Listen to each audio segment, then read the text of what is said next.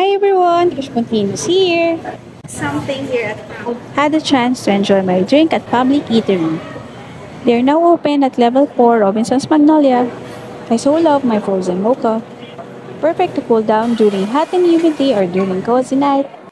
Can't wait to try it. Look at that. Frozen mocha for the win. Can't wait to try it. Trying out frozen.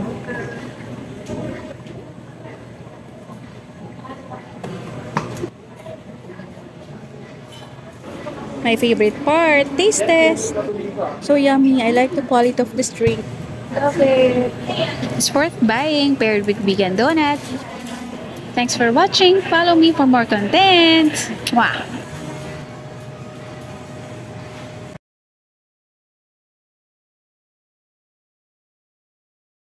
Here's the way, by the way, to the public eatery, fourth level.